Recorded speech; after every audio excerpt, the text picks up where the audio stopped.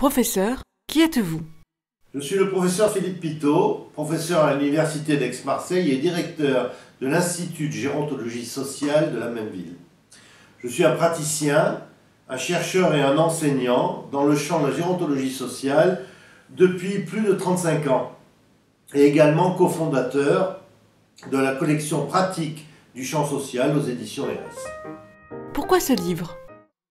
Ce livre, intitulé Gérontologie aux portes de la souffrance, apparaître en avril 2019, dont je rappelle qu'il est avant tout collectif, est important parce qu'il synthétise plusieurs années de réflexion et d'action d'un groupe de praticiens, chercheurs, enseignants qui s'est penché au travers de différents filtres et approches sur le thème de la souffrance, des souffrances vécues ou ressenties comme telles.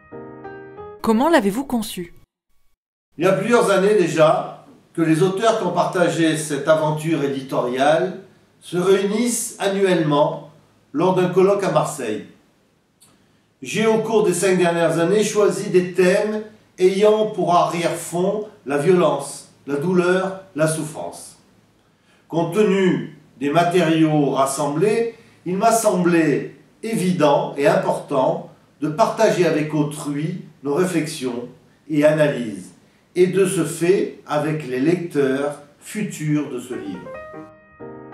Quelle est l'originalité de son approche? Elle repose sur la latitude offerte à chaque auteur d'écrire à partir d'un thème central qui est celui de la souffrance, des souffrances, identifiées dans notre secteur, à savoir le domaine de la gérontologie. À qui s'adresse-t-il? À tous les professionnels, les étudiants en formation professionnalisante, mais également à tous ceux qui, comme les aidants naturels, côtoient, sinon vivent, avec des personnes en souffrance. Plus globalement, je dirais que nous sommes dans un cycle de nos sociétés où la parole se libère, tant sur les violences subies que sur les souffrances résultant de ces mêmes violences. Un ouvrage collectif sur ces thèmes qui occupent l'espace médiatique actuel arrive donc au bon moment.